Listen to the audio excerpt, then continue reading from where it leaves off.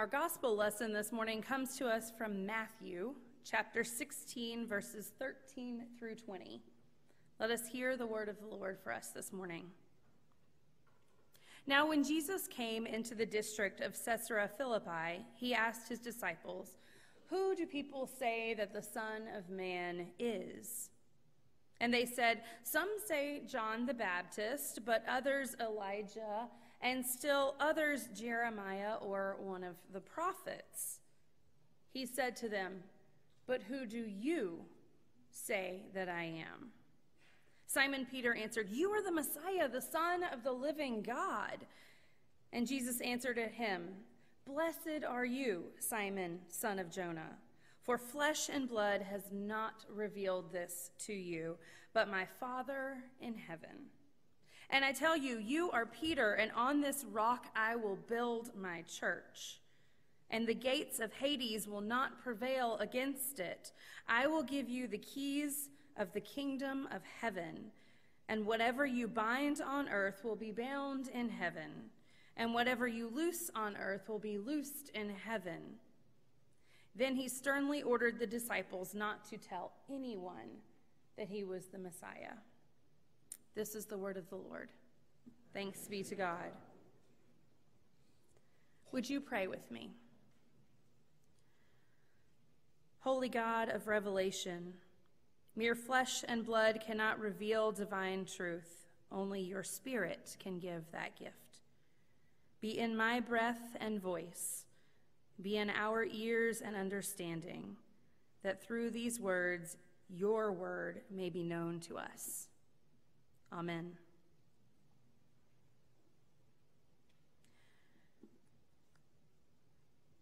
This sermon was untitled until the Holy Spirit gave it to me last night.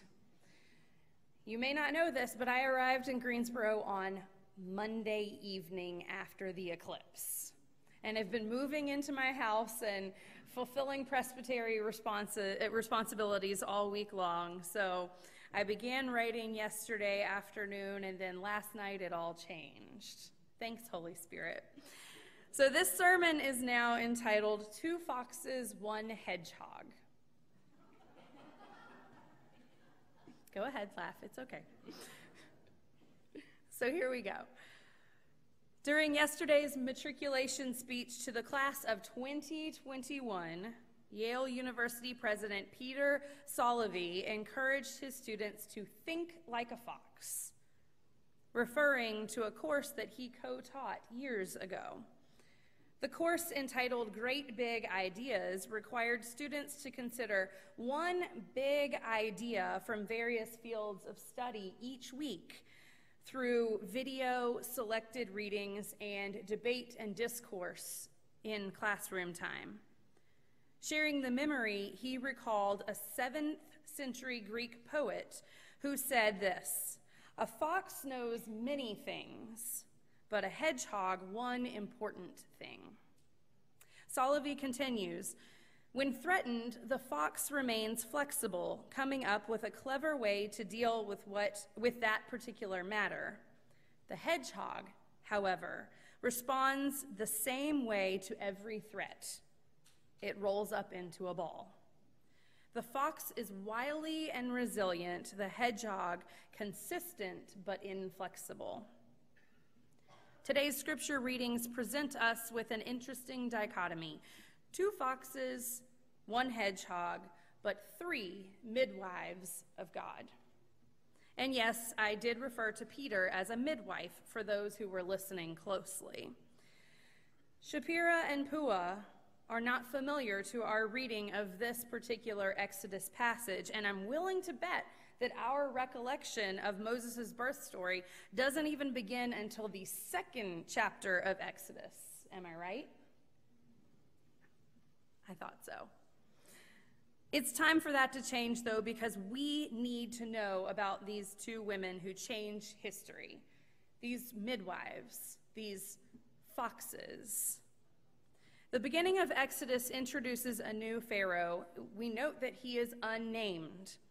This ruler doesn't know Joseph and yet works to secure his political identity. The ancient Israelites are growing in number, which threatens the Pharaoh's rise to power. And therefore, this leader orders the Hebrew midwives to kill any boy born to an Israelite woman.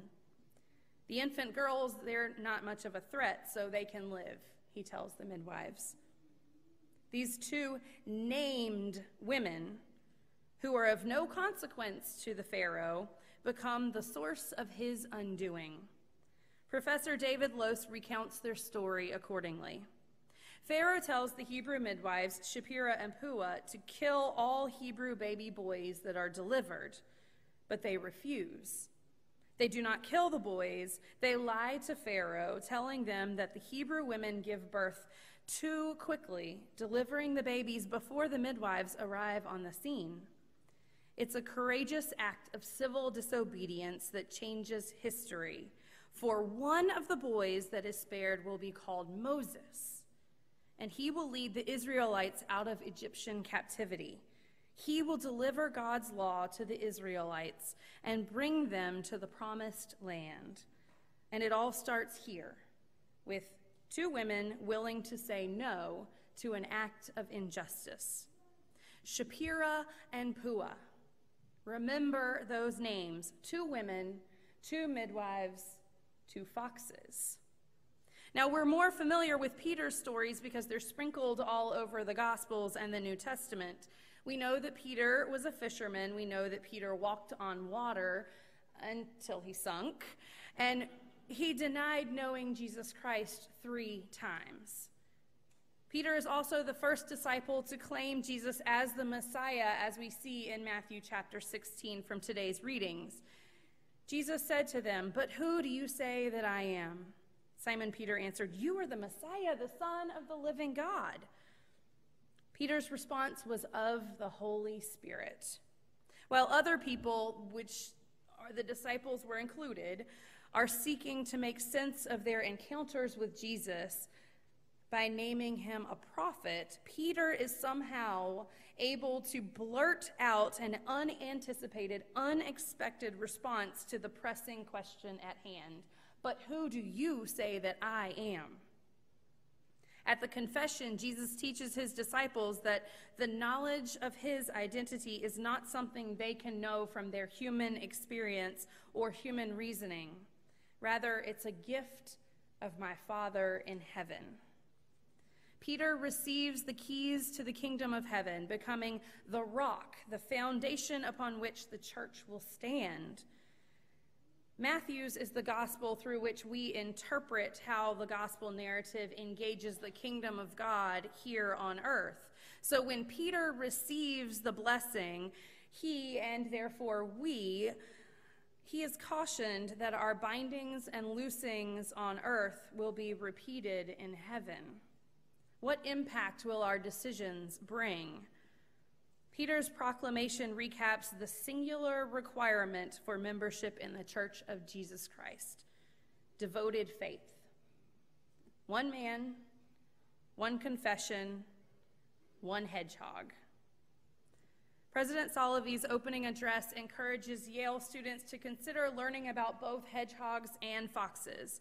Try them all on for size until you find the one that fits he suggests. Ultimately, however, he desires for his students to think like a fox when he says, As inspired as you might be by a single idea or way of looking at the world, I suggest that you entertain many different ways of thinking and consider various points of view. The lectionary texts offer us some varying points of view today. Both foxes and hedgehogs carry out, they are midwives of God's work in the world. Shiphrah and Puah, the two foxes, they rescued Moses that he might go on to rescue the Israelites. Peter, the hedgehog, received the keys to the kingdom because of his devoted faith to Jesus Christ, our Messiah. The two foxes outwiled their captor, Pharaoh, allowing boys to live. Their blatant disregard for the law saved lives. It was simultaneously a small gesture and a heroic act. They disobeyed, and because of their act of disobedience, God was able to rescue Israel from oppression. The hedgehog, now, he didn't know any other way to respond when pushed. So he declared what had been made known to him through the Holy Spirit. Peter made the first Trinitarian declaration of faith in the Gospels. Peter became the rock upon which God will place other stones as over time Christ builds a people for himself. So, church, as we head into a new school year, some have already started, some will begin tomorrow, some are anxious parents, like others. We must consider who we will be. Will we think like a fox or will we think like a hedgehog? Luckily, there's not a right or wrong choice. Two foxes plus one hedgehog equaled three midwives ushering God's promises into being. Right now, what I see is the church being more hedgehog like. We are taking after our rock. Peter spoke without a full understanding of what the Messiah would be. Nevertheless, he spoke, allowing the Holy Spirit to be his voice. Peter lived a life where understanding eventually came to follow belief. Christ's church is faithful, built with people committed to following a call and a commitment, all of which leads to eventual understanding. We raise and we nurture members of our congregation because of our commitment to baptismal vows and because of our commitment to following the gospel message. Sometimes, if we are lucky, we see the fruits of our faithful, belief based labors. Often, though, we don't see them. But we are hedgehogs anyway. We heed the call, we stick to our vows. As we grow together, we come to a deeper understanding of a Messiah led life of ministry. But I wonder is there space for the church to be more fox like too? Today, as a new school year begins for all ages and stages in this building and on campuses well beyond the property lines of Starmount, we recognize that small actions have ripple effects. We acknowledge the bravery of Shiphrah and Puah, the two foxes that changed the world, and we're a little hedgehog like through their fear of God and their faith in God. We blessed backpacks. You welcomed a new resident. And we're celebrating UKirk ministry and UKirk students today. So we're inviting ourselves to think like foxes a little bit, to expand the wily ways that we care for the next generations of the church in the world. And we do it while curled up in a ball, maybe, resting in the comfort of Peter's unexpected profession of faith the hedgehog who relied upon the one truth that he knew Jesus Christ is the Messiah, our Lord, and our God. Knowing that Christ gathered us to be members of his church here and now, we ask the Holy Spirit to make certain our belief of God's presence in a world full of doubts.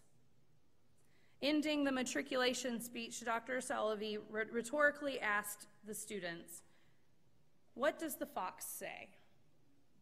Don't answer it. Please don't answer it. To which he offered a cunning response appropriate for those entering collegiate studies. As the new director of UKirk Greensboro, I ask you this for consideration. How do the fox and the hedgehog continue to work together to nurture the here and now the younger generations of our church and of our world. I invite you to dream big with me. I want you to pray faithfully with me. I ask you to join me in ministry to our UKirk students, a ministry of presence, a ministry of finances, a ministry of food, a ministry of talent sharing, and a ministry of so much more. So hear this now you foxes and you hedgehogs, all of you midwives. As we engage in life and ministry together, let us pledge to listen carefully, to engage one another, to explore the new, to use our natural curiosities for discovery, all while consistently replying, re, excuse me, consistently relying upon the Spirit's, Spirit's guidance. So let's be flexible and inflexible. Let's be wily and steady. Let's simultaneously hold a little bit of skepticism and a whole lot of faith. We'll follow the examples of two foxes and the one hedgehog who encourages us to grow in the grace and knowledge of our Lord and Savior, Jesus Christ. In the name of God, our designer, Christ, our Messiah, and the Holy Spirit of wily ways, we pray. Amen. Would you join me in a responsive prayer, or prayer of response? God of purpose, you took a baby from the Nile and used him to lead your people. You invited a fisherman to fish for people and made him the foundation of your church. You took two imprisoned women and gave them the courage to disobey the Pharaoh. Stir in us new cravings so that we might receive again the revelation that Jesus Christ is the Messiah, continuously at work and ever commanding our commitment. Amen.